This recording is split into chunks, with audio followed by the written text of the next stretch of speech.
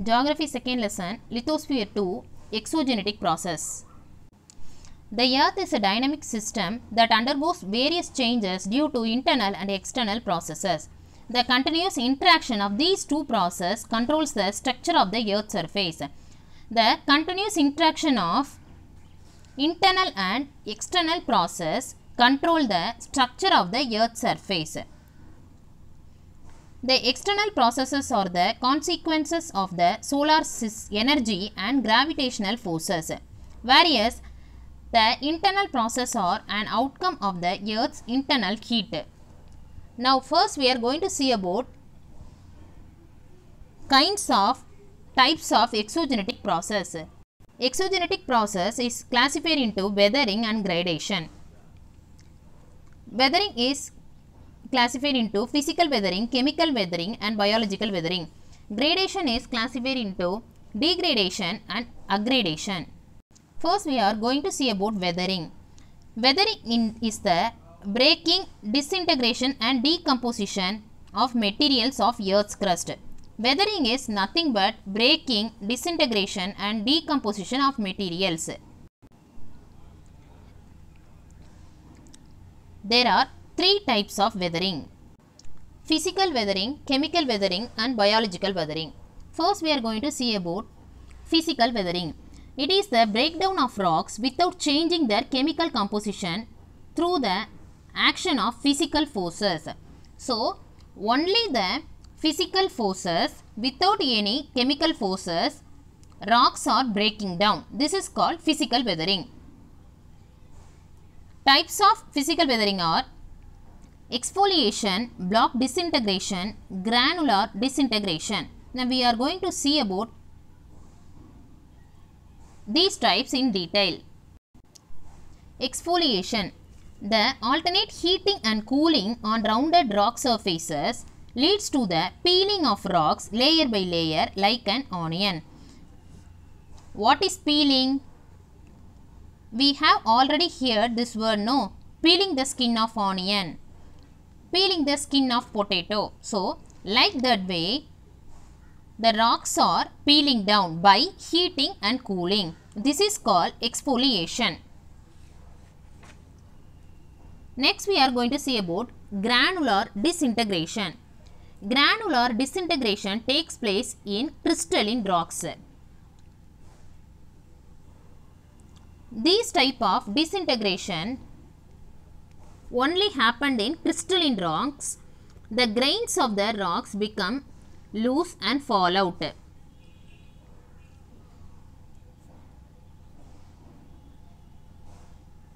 The grain is a thing seen in rocks.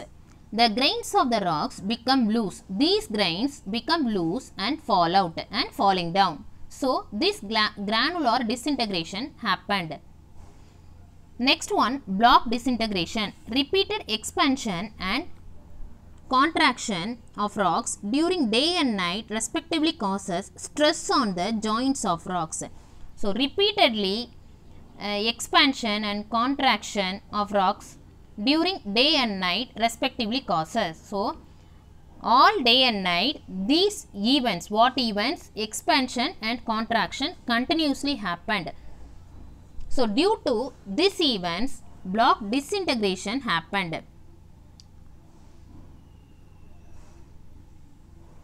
Rocks expand due to heat and rocks contract due to cold. Okay.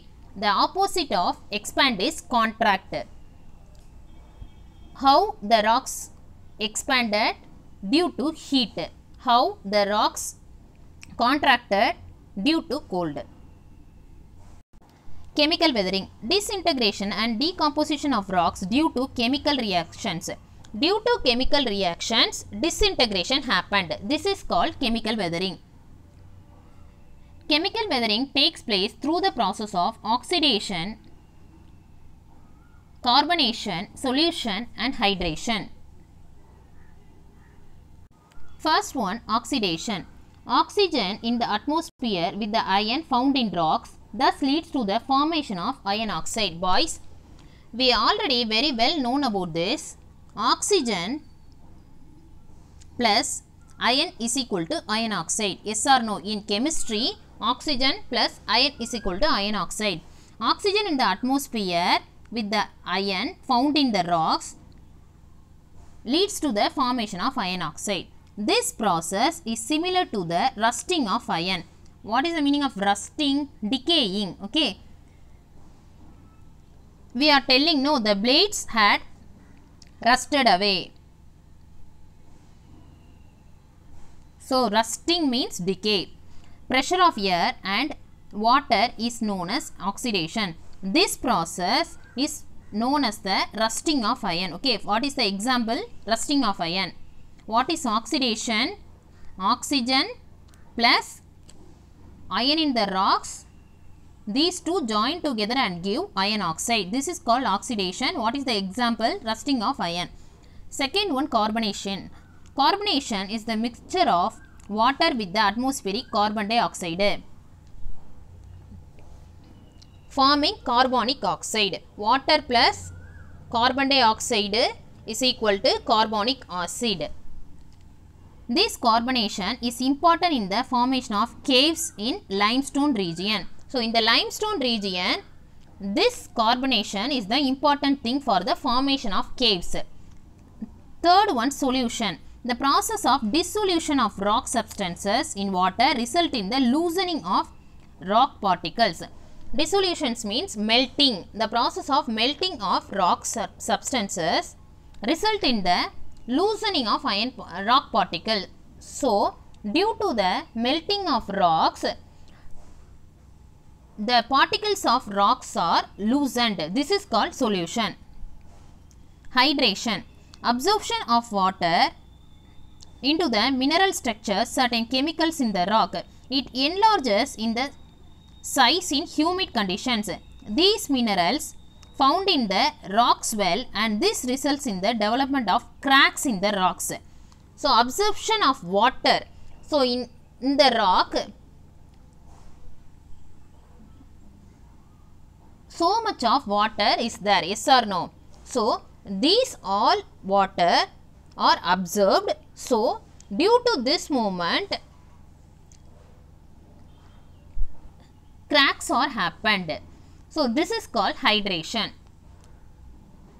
Next, we are going to see about biological weathering. Biological weathering occurs due to the penetration and expansion of plant roots, earthworms, burrowing animals and some human activities. This penetration means go deep into the ground. Some biological events happened like go deep into the ground. Okay. What is the example? Some plant roots are going deep into the ground. Yes or no? Some earthworms are going deep into the ground. Making some hole and going deep into the ground. Some burrowing animals. What are called burrowing animals? Some animals make big holes into the ground and staying there. Yes or no? Like rabbit and rats. So, these animals are called burrowing animals and some human activities. Some humans are burrow the ground for construct a building. Erosional landforms of underground water. As an agent of gradation, underground water creates distinct landforms in limestone regions called karst topography. Due to gradation, underground water creates variety types of landforms is called topography. Karst topography. Groundwater is an active agent in limestone regions. Groundwater is an active agent of limestone regions. Karst topography is formed due to the dissolution of soluble rocks such as limestone, dolomite and gypsum. Karst topography formed due to the dissolution of soluble rocks as limestone, dolomite and gypsum. When rainwater mixes with carbon dioxide and enters into a limestone region, it dissolves and destroys much of the limestone. Rainwater mix with carbon dioxide and this mixing carbon dioxide plus water enters into the limestone region. This dissolves and destroys so much of the limestone. As a result, landforms such as terra rosa, lapies, sink holes, swallow holes, dolines, uvalas, poljes, caves and caverns are formed. First we are going to see about terra rosa. Boys, see this first picture. This is terra rosa. In Italian farm, terra rosa called red soil. What is the Italian name for terra rosa? Red soil. Deposition of red clay soil in the surface of the earth is due to the dissolution of limestone content in rocks. This red clay soil dissolved the limestone content in the rocks. The redness of the soil is due to the presence of iron oxide. This soil is in red color because of the presence of the iron oxide. Next one lapies. When the joints of limestone rocks are corrugated, long furrows are formed and these are called lapis. Corrugated is nothing but tight ridges and valleys. When the joints of limestone rocks are tight ridges with valleys by groundwater, long furrows, furrows means narrow trenches are formed. These are called lapies. See the second picture. These are called lapies.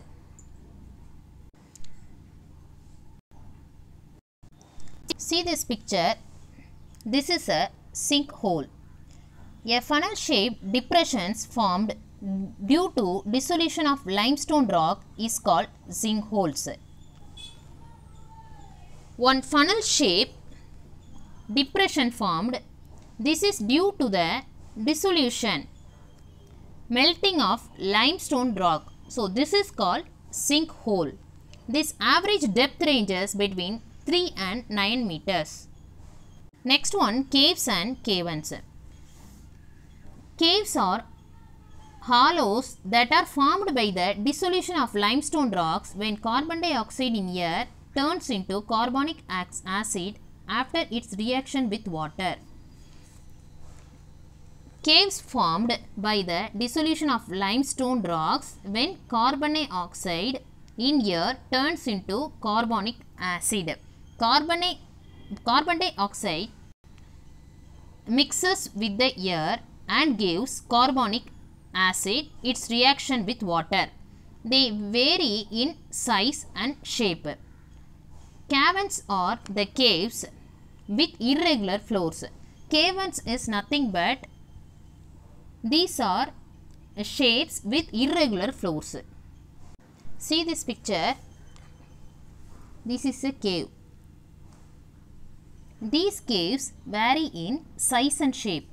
Caverns are the caves with irregular floors. These caves seen with an irregular floors is called caverns. Swallow holes, uvalas, dolines are other erosional features of karst regions in the parts of the world. See this picture boys. First picture is sinkhole. Second one is cavern. Third one is caves. Next we are going to see about depositional landforms of underground water. It is an interesting to know that a variety of depositional features of formed on the floor, ceiling and walls of the caves and caverns of the karst topography. Stalactite, stalagmite and column.